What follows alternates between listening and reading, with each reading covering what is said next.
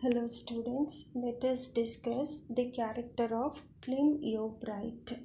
In uh, book 2, The Arrival, we read about uh, Clym Yeobright. Several characters uh, of the novel express their opinion about uh, Clym Yeobright in um, chapter 1, book 2 of the novel. Book 2 is titled The Arrival. Arrival is Clym Yeobright's arrival from Paris. Uh, so, the first chapter of book 2 is titled Tidings um, of the Comer. Uh, tidings means news. So, this first chapter contains news about Clym's arrival we come to know from characters such as uh, Eustacia Vye's grandfather, Captain Vye, Humphrey, and others who talk about um, Clym from his uh, boyhood to what he is doing right now. So, we uh, the information we get is that currently uh, Clym Yeobright is working in London as the manager to a diamond merchant. Uh, so he went away from Egdon Heath when he was a boy. First, uh, one of his neighbors took him to Budmouth. From there, he went to London, and now he is at Paris working as a diamond merchant. So, uh, Eustacia's grandfather, Captain Vye, is of the opinion that uh, Clym Yeobright should have stayed in uh, Egdon Heath itself because he was a promising boy. He uh, should have followed uh, whatever his father was doing. Uh, Captain Vye says he himself had followed the occupation of his father.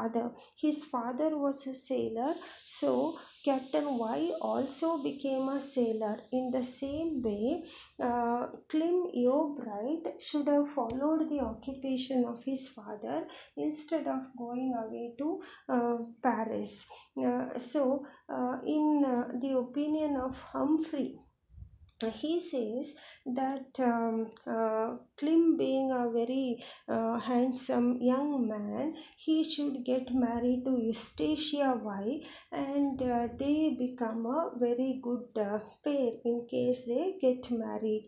But they also feel that both of them, that is Clym Yeobright and Eustacia Vye, are well educated, so they have certain mentality uh, because uh, the education has, has made them uh, to be such so if they keep away all their notions and ideas or ideals they'll be a very good pair uh, so uh, from this information we come to know that uh, Clym Yeobright is the son of Mrs. Yeobright he later gets married to Eustacia and he is the cousin of Thomasin. Uh, so uh, here in book 2 of this novel uh, we come to know that uh, Clym Yeobright is a native in the the title of the novel is return of the native so uh, Clym Yeobright is a native who returns from Paris. Uh, so he is coming home after several years.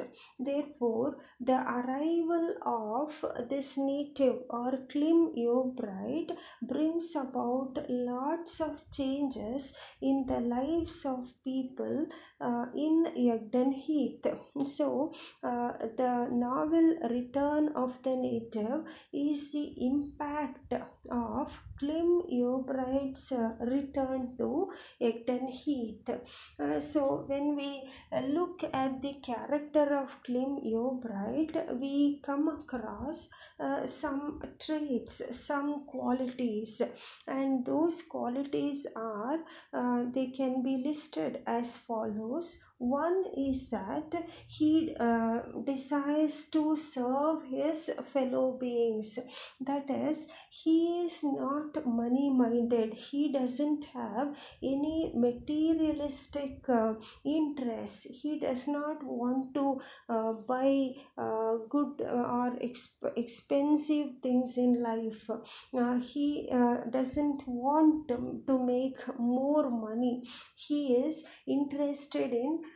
serving uh, the ignorant poor people at uh, Egdon Heath. Uh, so that is what he wants to do in life. So he has humanitarian attitude. Uh, he is service minded. Uh, the second quality is that he loves his mother. He is a devoted son. Uh, though there are, there is difference of opinion between Mrs. Yeobright and uh, Clym Yeobright, we uh, later uh, come to know that he is a devoted son and he also loves his wife Eustacia. Though their marriage uh, is a failure later, uh, he in fact is attracted to the beauty of Eustacia and loves her. Uh, and another characteristic of Yeobright is that he is um, he has very strong determination. That is, whenever he, he decides to do something, he will not change his mind.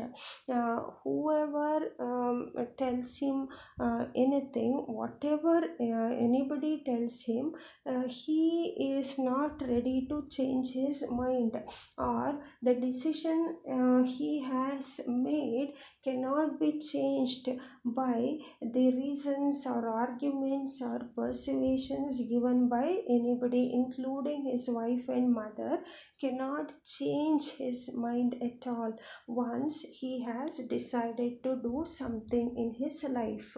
And uh, another characteristic is that uh, he has capacity for endurance that is mm, whatever hardships may come in life he uh, he is ready to face them. He is not at all disheartened or unhappy with the difficult situations in life he will take um, both happiness as well as sorrow in the same manner and he is able to continue his life without much difficulty. Uh, so he has that capacity for endurance. And uh, another uh, characteristic feature is that he has some philosophy uh, in his um, uh, he ha- he is an idealist and he follows certain uh, philosophical um, uh, attitude. So um, uh, moral values he gives more importance to them. And uh, there is an incapacity or inability to face real life situations. That is what some of the characters tell uh, about him uh, including Wildeve uh, to quote uh, a speech of Wildeve uh, uh, when he talks about uh, Bright this is what he says in uh, opinion Clym is an enthusiast about ideas and careless about outward things. He often reminds me of the Apostle Paul, uh, and uh, uh, and he says Paul was excellent as a man, and uh, in the Bible, um, he would hardly have done in real life. So, uh, Clym Yeobright lives in a world of uh, ideals, uh, perfection, but when it comes to real life, he uh, fails miserably. That's what uh, we need to understand. Uh, so, from his childhood, uh, he was a boy. Uh, Clym was a lad from whom uh, something was expected. As we mentioned earlier, uh, while expressing their opinion about uh, Clym Yeobright, uh, they give different uh, opinions. Um, uh, Captain Vye, Eustacia's grandfather, tells us that um, he was a promising lad at one point of time. Uh, so, uh, so always people uh, had expected something uh, nice from um, Bright uh, and even Eustacia after overhearing the conversation uh, all this is before the arrival of uh, Bright um, uh, as part of introduction uh, Hardy uh, the author of this novel uh, gives us a conversation between other characters. They talk about uh, Bright and this conversation Eustacia overhears and when she hears all this she feels that um, Clym Bright is a man coming from uh, heaven because for her Egdon uh, Heath was a place which uh, she disliked um, disapproved. She was unhappy uh, with um, Egdon Heath. She wanted to go to Paris which she thought was very fashionable. So uh, Clym Bright was arriving from Paris. So this idea of a young rich man coming from Paris uh, makes her feel that he is coming from heaven. Uh, that is why uh, Eustacia is interested in Clym Bright even before meeting him.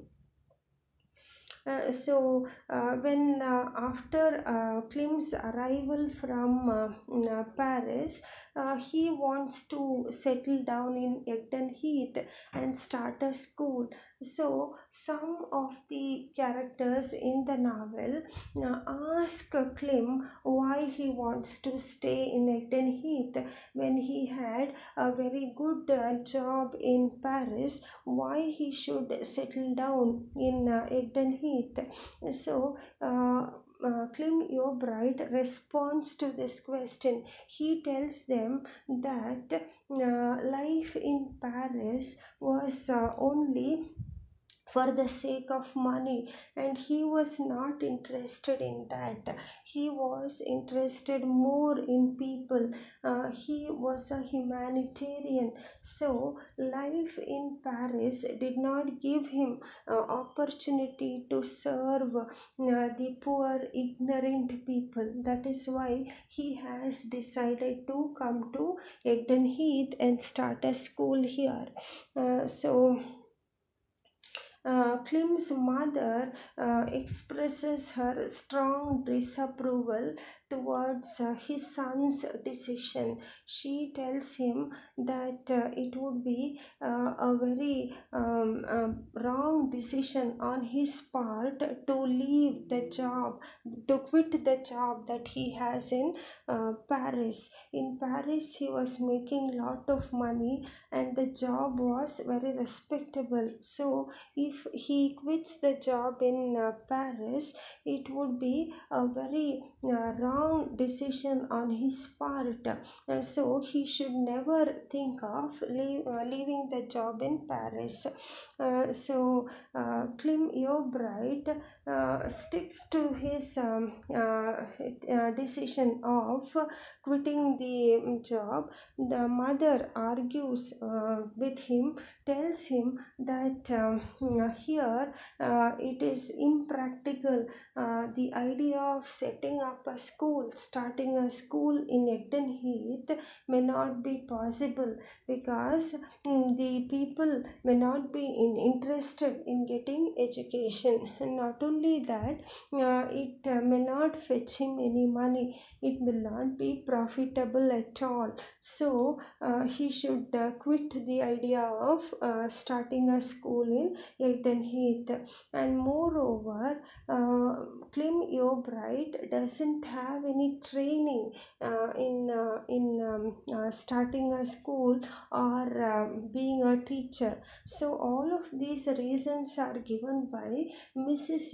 Bright and she tries to convince him uh, that he should not quit his uh, very respectable uh, and high paying job in uh, Paris. But Clym sticks to his um, uh, uh, decision and uh, he um, stays in Egdon Heath, has all plans to start the school there.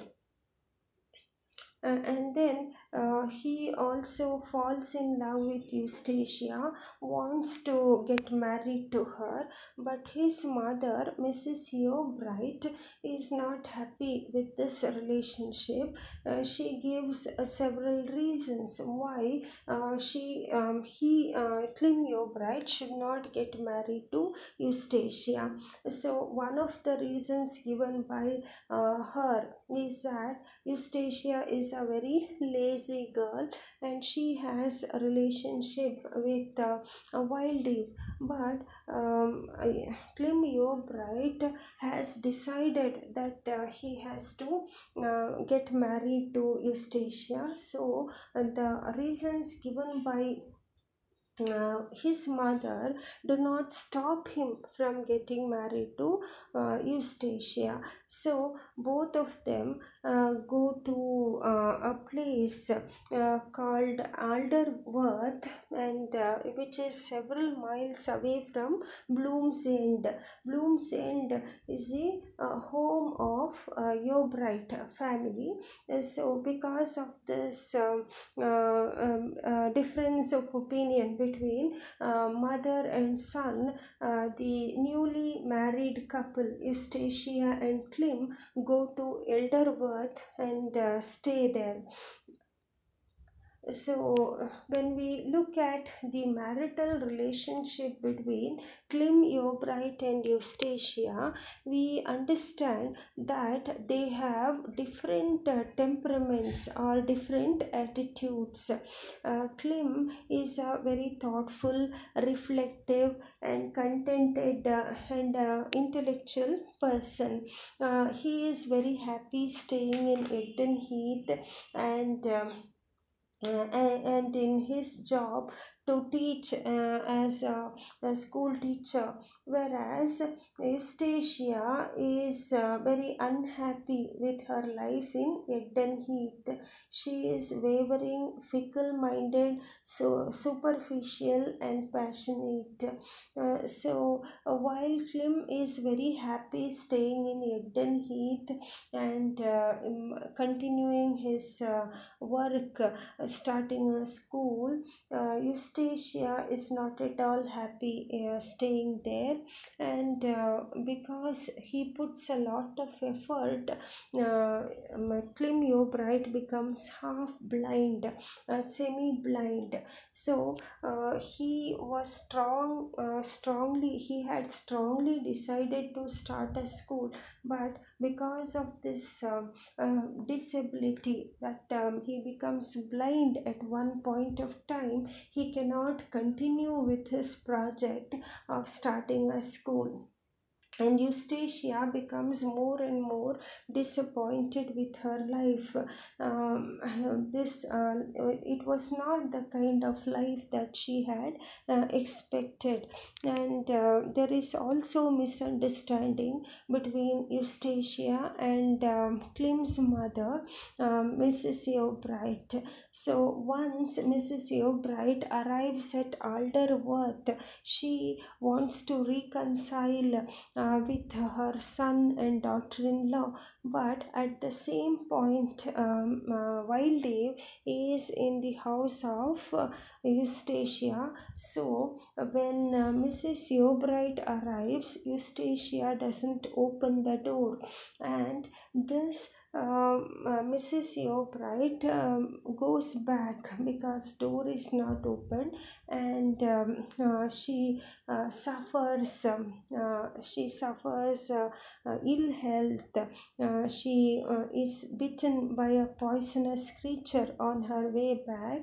and later dies because of this uh, um, uh, Clym Yeobright becomes very angry with Eustacia.